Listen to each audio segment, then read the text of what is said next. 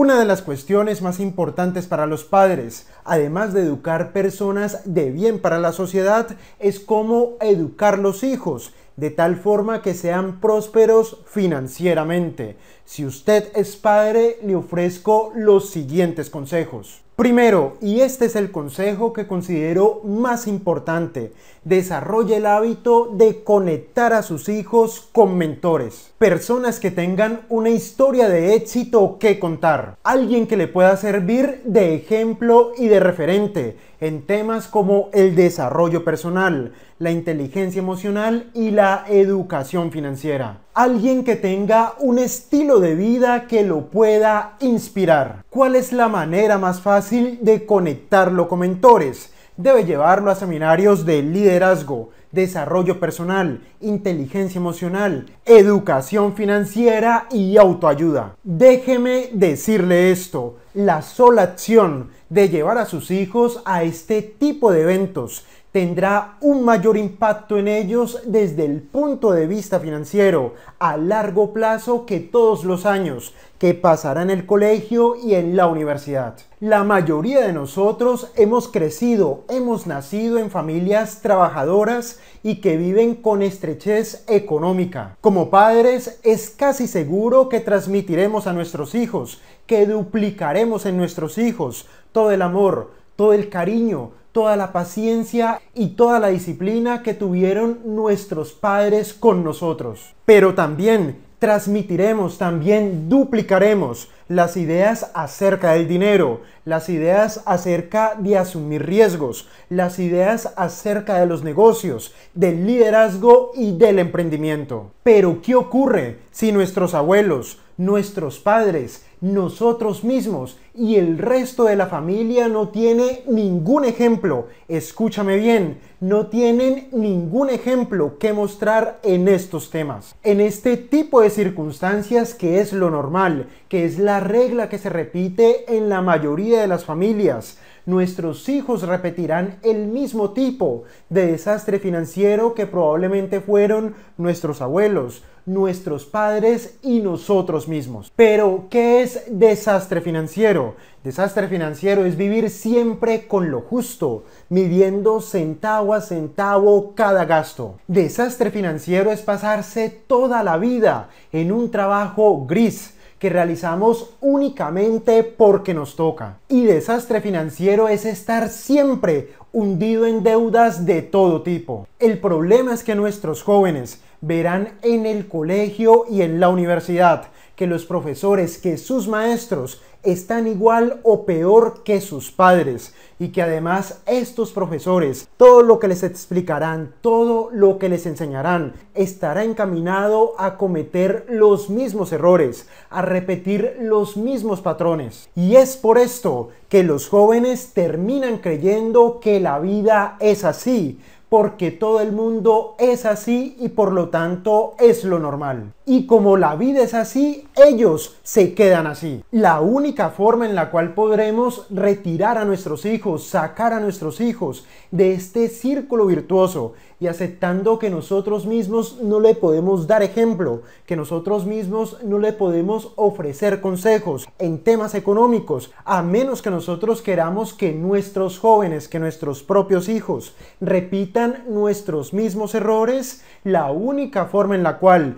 nosotros podremos sacarlos del círculo vicioso es llevándolos a seminarios de desarrollo personal, de autoayuda, de inteligencia emocional, de liderazgo y de educación financiera. Asistir a seminarios como los del conferencista mexicano Miguel Ángel Cornejo o como los del conferencista T. Hareker, Robert Kiyosaki, John Maxwell, Nick Bugisi de Estados Unidos, el hombre que nació sin pies y sin brazos, o como los del Padre Gallo de Colombia, asistir a este tipo de seminarios nos pueden cambiar la vida, porque pueden cambiarnos la forma en la que vemos la vida. Son oradores, son historias, son biografías, son visiones del mundo y son ideas que han impactado mi vida y la han impactado de una forma exponencial, mucho más que todos los años que pasé en el colegio, en los años de universidad, los años de posgrado y de máster juntos. Y han supuesto mucho más en términos de valores, en términos de desarrollo personal y en términos de crecimiento financiero. El único problema en mi caso es que únicamente comencé a recibir este tipo de educación tarde en la vida, a partir de mis 23 años. ¿Qué puede ocurrir con un joven, con su vida, con su mente, si comienza a ser impactado por este tipo de personas, por sus visiones, por sus ideas, por sus ejemplos, por sus sugerencias? ¿Qué puede ocurrir con un joven que comienza a ser impactado por este tipo de personas? a los 14, a los 15, a los 16 o a los 20 años. Para mí es indiscutible que sus probabilidades de éxito en la vida serán muy altas y es indiscutible también que jamás se tendrá que humillar trabajando en cosas que no quiere hacer. Es decir, trabajando para otro por dinero. Un joven con habilidades de liderazgo, con una alta autoestima inteligente emocionalmente y educado financieramente,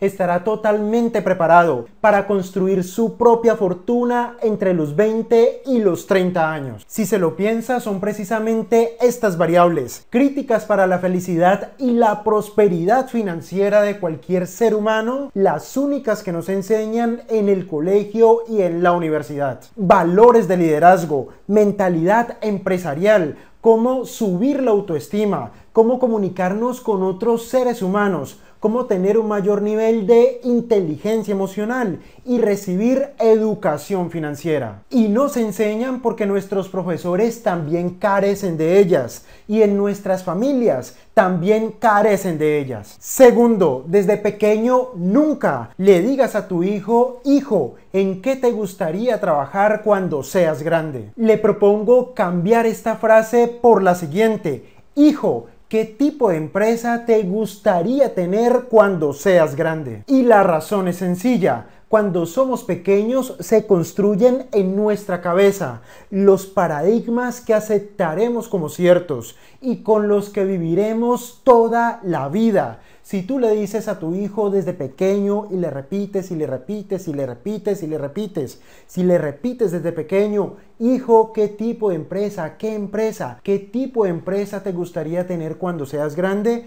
Él crecerá creyendo que tener empresa es normal y por lo tanto todo lo que él empiece a hacer en su vida se traducirá en cómo tener una empresa. Sutilmente tú lo estarás llevando a construir su propio negocio no sabemos de qué, no sabemos cómo, no sabemos cuándo, no lo vamos a obligar, simplemente inconscientemente le estaremos inculcando valores de liderazgo, valores de independencia financiera, mentalidad empresarial. Con esta frase, con esta simple frase que parece una tontería, sus hijos crecerán creyendo que tener una empresa es normal, incluso aunque sus propios padres trabajen en limpieza, incluso aunque sus padres sean obreros en una fábrica. Y todas sus acciones estarán encaminadas a hacer algo que para él es normal. Y para él será normal porque usted se encargó de plantar esa semilla en su cabeza. Y esta sugerencia se la hago a menos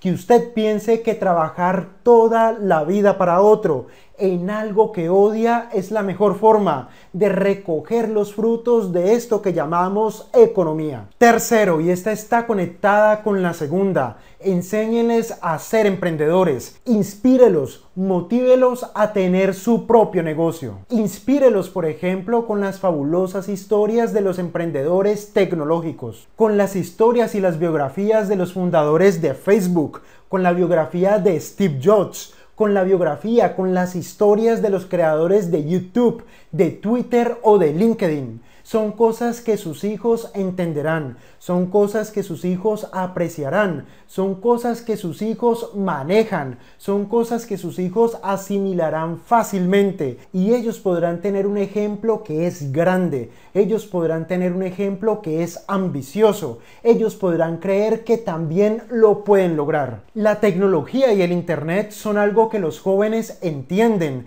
las redes sociales son algo que los jóvenes dominan Muéstreles cómo hay miles de jóvenes emprendiendo simplemente con un canal en YouTube, emprendiendo simplemente con una cuenta de Facebook, de Twitter y de Instagram. Muéstreles ese mundo, muéstreles esa otra visión de ese mundo y que ellos lo comiencen a descubrir. Enséñele que las redes sociales no son únicamente para saber lo que están haciendo tus amigos. Enséñeles que las redes sociales es un mecanismo perfecto para emprender, para ganar su propio dinero, para monetizar su talento, para poner en marcha cualquier proyecto, para poder materializar cualquier idea. En Internet sus hijos se pasarán horas enteras de ocio buscando porno o perdiendo el tiempo o buscando o investigando cómo emprender. Usted no los puede controlar todo el tiempo. Por esto le sugiero,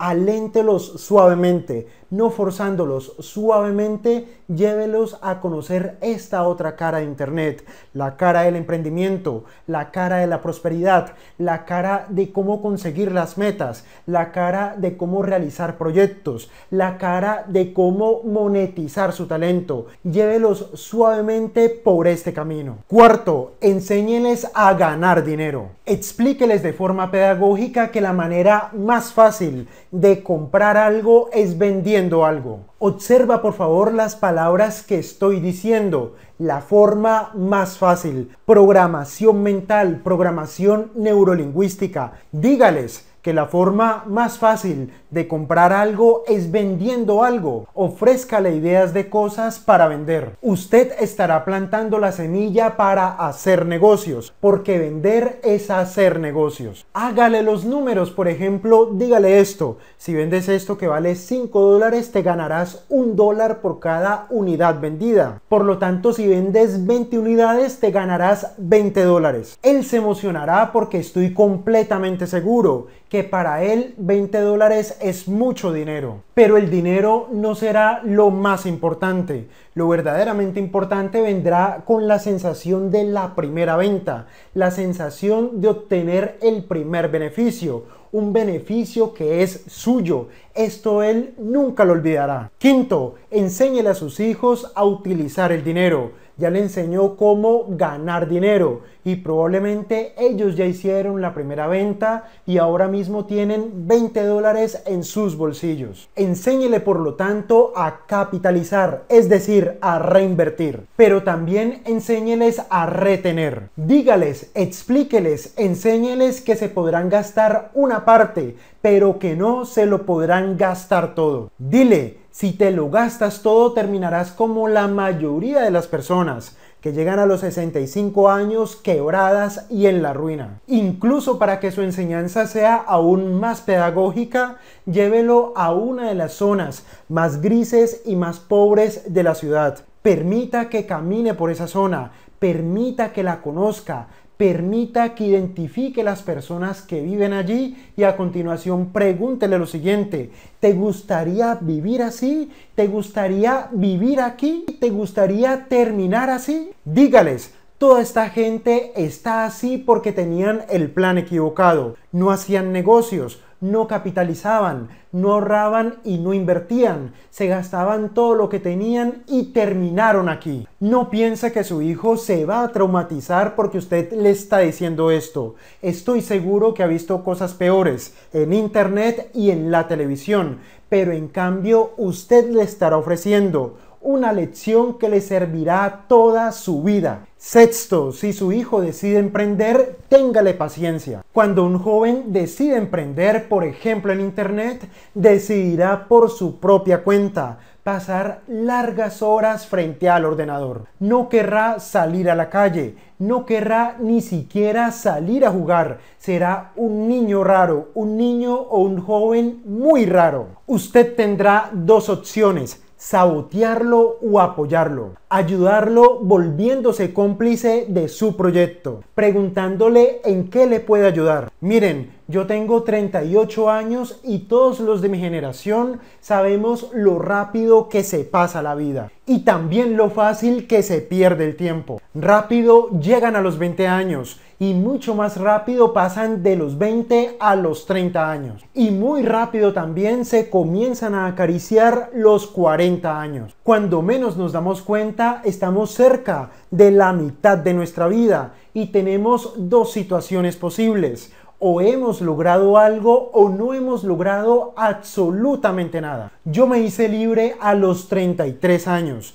y he disfrutado mucho más los últimos cinco años que siendo joven, sin un duro ni siquiera para salir a la esquina. Imagínense una persona que se hace libre financieramente a los 18, a los 20, a los 25 o a los 30 años. ¿No es increíble? Ese es el verdadero potencial cuando un joven comienza a emprender, cuando un joven comienza a hacer negocios, cuando un joven comienza a desarrollar valores de liderazgo y mentalidad empresarial desde temprana edad. Tiene el potencial de comenzar a disfrutar la vida desde temprano. Si usted es un padre o una persona común y corriente, podría pensar que está desperdiciando su juventud, pero está equivocado. Lo que está haciendo es aprovechando su juventud. En este sentido vamos con el séptimo punto.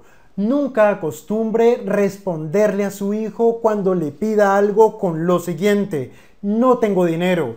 Le sugiero cambiarlo mejor por esta frase o por esta respuesta. Diseñemos un plan para lograrlo. Lo primero cierra cualquier alternativa. Lo segundo pone el cerebro a funcionar para lograrlo. O si quiere ir un paso más allá, dígale algo como lo siguiente. Vamos a construir un activo o vamos a vender algo que nos permita comprarlo. Estará cambiando una cosa por otra estará utilizando la imaginación, estará enseñándole a crear un proyecto, estará enseñándole a ponerse metas, estará enseñándole el valor del esfuerzo, le estará enseñando disciplina, le estará enseñando a valorar las cosas, le estará enseñando que puede lograr todo lo que se proponga. Si por el contrario usted le contesta siempre, no tengo dinero o me vio cara de banco, déjeme decirle que usted es un padre tóxico, usted es un padre de mente pobre. Octavo, nunca les des a tus hijos todo a cambio de nada. Y para que se comprenda un poco mejor, ofreceré una experiencia personal. Una de las compañías bursátiles en la que yo trabajaba tenía dos socios fundadores y algunos de los hijos de estos socios trabajaban en la misma compañía, ocupando cargos de jefatura o ocupando el cargo de corredores de bolsa. Pero uno de los socios le ofreció a sus hijos un tipo de educación diferente al del otro socio. Observen que los dos socios son ricos, los dos socios tienen empresa, pero uno le dio una educación diferente al que le dio el otro socio a sus hijos. Uno de los socios le enseñó a sus hijos el valor de la responsabilidad personal, el valor de emprender, el valor de que se lo tenía que merecer, el valor de que se tenía que esforzar. Y una de las maneras en la que le enseñó a sus hijos este tipo de valores fue iniciándolos a trabajar en su propia compañía pero no en cargos de jefatura, sino como mensajeros o como auxiliares administrativos, con el objetivo de que ellos conocieran desde abajo cómo funcionaba la compañía. Por el contrario, el otro socio le ofreció otro tipo de educación a sus hijos, ellos no entraron como mensajeros a la compañía, sino que directamente los metió en cargos de jefatura, en cargos de responsabilidad o en el cargo de corredores de bolsa. Ellos no comenzaron desde abajo como los hijos del otro socio. ¿Cuál era la diferencia? Que unos ganaban buen dinero, se esforzaban, se lo merecían, hacían el trabajo extra y los otros no trabajaban lo suficiente, no hacían el trabajo extra, ellos creían que ya habían nacido con el derecho, ellos creían que ya habían nacido mereciéndolo todo. Por lo tanto, unos ganaban buen dinero y eran responsables y además eran buena gente y los otros no ganaban buen dinero, tenían cero responsabilidad personal y además eran personas muy conflictivas. Observen que la diferencia como padres no es el dinero. La diferencia que como padres podemos hacer en nuestros hijos está en los valores que les inculcamos desde pequeños respecto del dinero, respecto de su responsabilidad personal, respecto de su capacidad para emprender, respecto de su capacidad para intentar merecer las cosas, respecto de su capacidad para esforzarse más, para caminar la milla extra. Era un tipo de educación diferente el que le dio el uno y el que le dio el otro a sus hijos. En una ocasión yo pude ver las comisiones que ganaban los hijos del otro socio, el que no les inculcó el valor de la responsabilidad, el valor del esfuerzo y el valor del merecimiento. En una ocasión pude ver las comisiones que ganaba uno de ellos y era de aproximadamente 5 dólares mensuales. Imagínense un corredor de bolsa que gana en comisiones en un mes 5 dólares. Yo solamente podía pensar en lo siguiente, es necesario ser muy inútil para ganar en un mes como corredor de bolsa únicamente 5 dólares. En aquella época yo me estaba volviendo rico como corredor de bolsa, pero ella, que era la hija de uno de los dueños, que llevaba muchos años como corredora de bolsa, que supuestamente era su propia empresa, únicamente generaba para la empresa de su padre 5 dólares en comisiones. Era absolutamente inútil, era totalmente opuesto a lo que podía haber en los hijos del otro socio.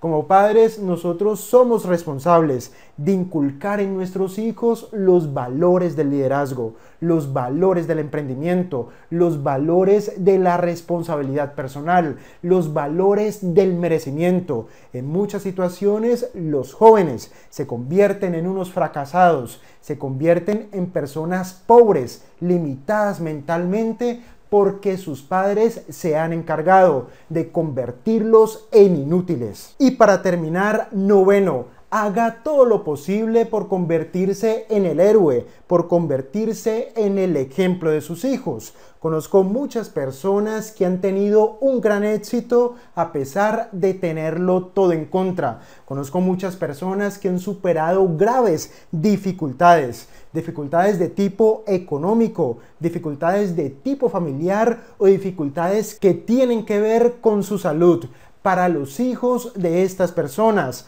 Los héroes no son Superman, no son Batman y no es la Mujer Maravilla. Los héroes, el gran ejemplo de los hijos de estas personas son sus padres. Los jóvenes no son tontos y cuando crecen saben y entienden que ellos tienen la vida que tienen, disfrutan de los placeres que disfrutan, tienen las comodidades que tienen y su vida ha cambiado como ha cambiado gracias al esfuerzo de sus padres, gracias a que sus padres hicieron un gran esfuerzo, gracias a que sus padres superaron graves limitaciones, limitaciones de tipo educativo, limitaciones de tipo mental y limitaciones de tipo familiar y económica. Los jóvenes no son tontos, se pueden hacer los tontos, pero no lo son. Ellos entienden y comprenden cuando sus padres son perezosos, cuando sus padres tienen vicios,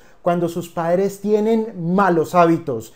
Ellos entienden que viven mal o que viven bien gracias a sus padres. Y cuando entienden que sus padres tienen malos hábitos, cuando entienden que sus padres no son un buen ejemplo, ellos huyen, ellos rechazan, ellos los evitan, ellos evitan darlos a conocer a sus amigos, ellos evitan llevar a sus amigos a sus casas. Ellos evitan combinar lo que viven en la casa con lo que viven en la calle. Combinar lo que aprenden en la casa con lo que aprenden en la escuela. Y a propósito, te debo hacer las siguientes preguntas. Preguntas que probablemente serán incómodas. A sus hijos les da pena llevar a los amigos a su casa porque es fea, porque está sucia, porque es pobre o porque llevan sin renovarla 10, 20 o 40 años. En su casa es frecuente discutir por temas económicos, porque hace falta el dinero. Sus hijos siempre se tienen que privar de cosas de las que sus amigos no se tienen que privar? Si la respuesta a alguna de estas preguntas es sí, le invito a aprender lo que tiene que aprender para prosperar. No estamos hablando de valores porque estoy seguro que usted les da amor, les da comprensión y les tiene paciencia, pero estamos hablando de economía, estamos hablando de superarnos, estamos hablando de prosperar, estamos hablando de desarrollo personal, estamos hablando de avanzar en la vida. Y para lograr este tipo de cosas, usted tiene que aprender lo que tenga que aprender para avanzar, para prosperar, para lograr cosas diferentes, para hacer cosas diferentes. Usted tiene que aprender lo que tenga que aprender para darle a su familia la vida que ellos merecen tener. Usted tiene que aprender lo que tiene que aprender para convertirse en el héroe de sus hijos, para ser el ejemplo de sus hijos, que su historia sea la que sus hijos quieren contar, que su casa sea en la que sus hijos quieren estar, que su vida sea la que sus hijos quieren tener. Hasta pronto.